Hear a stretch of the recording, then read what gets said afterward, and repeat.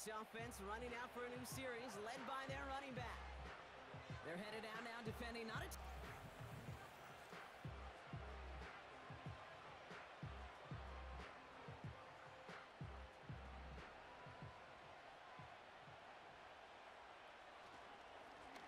They'll run here on first down. And he'll take it past the midfield stripe and start the push into Cowboys territory. And the whistles go off, so we left in the game. The Bills take a knee, and they'll let the seconds tick away in this win. Now with eight seconds remaining in the game, they're going to burn their final timeout. Lone back in the backfield, and they give it to him.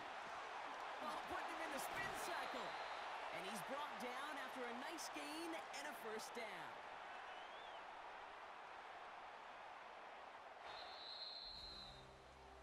And the Buffalo Bills have finally done it. They avenged the teams of the 90s.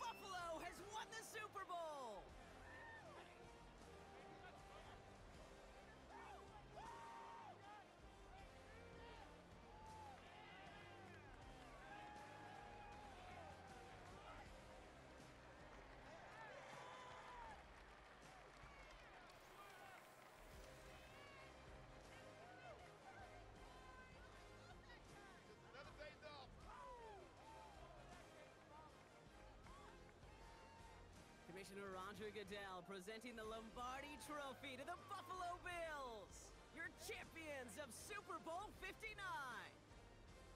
So that's a wrap on another incredible year of NFL coverage here on EA Sports.